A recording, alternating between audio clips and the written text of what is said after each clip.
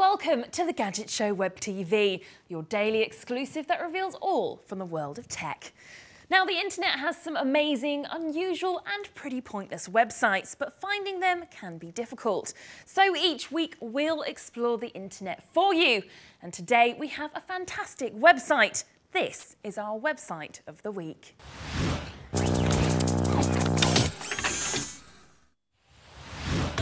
Love making music, then UJam is the website for you. This cloud-based platform will give you the ability to create new tunes and enhance your musical talent. And UJam works in three simple stages. First, you need to compose a track by either singing, playing a musical instrument, or selecting a song from the extensive list of preloaded tracks that you can rejam later, which is what I'm going to do. Once the track is loaded on the timeline, you're ready to start stage two, styling the track to suit your music taste. To style your composition, you can change chords, add instruments, and even edit the melody by adding extra key notes and extending their length. But if you really want to give your tune that feel-good factor, you can transform the genre of the track into anything from 70s disco to samba. But I'm going to go for a bit of rock.